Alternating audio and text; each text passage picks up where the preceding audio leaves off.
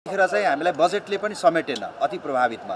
तर हामीले धन्यवाद भन्नुपर्छ नेपाल राष्ट्र ब्याङ्कलाई कि राष्ट्र ब्याङ्कले चाहिँ चलचित्र क्षेत्रलाई अति प्रभावित क्षेत्रमा समेटिदियो।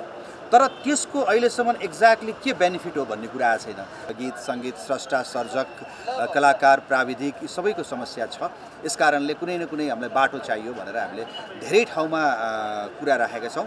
र हाम्रो भनाइ चाहिँ हामीलाई अब छायाङ्कन खोलिदिनुहोस्। हामी डब्लुएचओ र नेपाल सरकारको र सिसिएमसीको मापदण्डलाई हामीले अप्नाएर सिनेमा छायाङ्कनमा जान सक्छौँ भन्ने कुरा पनि लिएर हामीले बुदागत यो यो गर्न सक्छौँ यसै यसरी हामीले सेफ राख्न सक्छौँ भनेर हामीले प्रस्तुत गरिसकेका छौँ। उद्योग वाणिज्य महासङ्घको केन्द्रीय सदस्य भएर आएपछि मैले के गरेँ त भन्दाखेरि चलचित्र क्षेत्रलाई र त्यो क्षेत्रलाई एक ठाउँमा मिक्सअप गर्ने र नजिक त्यसको दूरीलाई मेटाएर नजिक ल्याउने काम गरेँ र चलचित्र क्षेत्र हाम्रो चाहिँ एउटा सेवामूलक उद्योगमा थियो।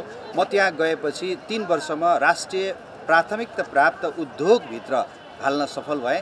यो साथ मलाई चलचित्र क्षेत्र मेरो चलचित्र निर्माता सङ्घका साथीहरू र त्यसको साथसाथै चलचित्र समन्वय समिति भनेर चाहिँ हाम्रो सम्पूर्ण सङ्घ संस्था त्योभित्र आबद्ध छौँ।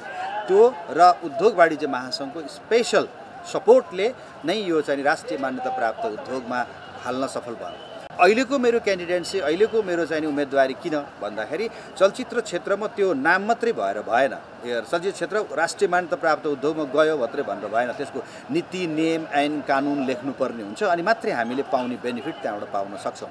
जस्तै राष्ट्रिय मान्यता प्राप्त उद्योग भनेको टुरिज्म सेक्टर हो। राष्ट्रिय मान्यता प्राप्त उद्योग भनेको कृषि सेक्टर हो। त्यही भित्र अब चलचित्र पनि परिसक्यो। त्यसले गर्दाखेरि उनीहरूले पाउने सरहको बेनिफिट चलचित्रले पाउनुपर्छ भनेर त्यसको नीति नियम ऐन कानुन लेख्नको लागि म चाहिँ उद्योग वाणिज्य महासङ्घमा यसपालि पनि मैले उम्मेदवारी दिएको छु।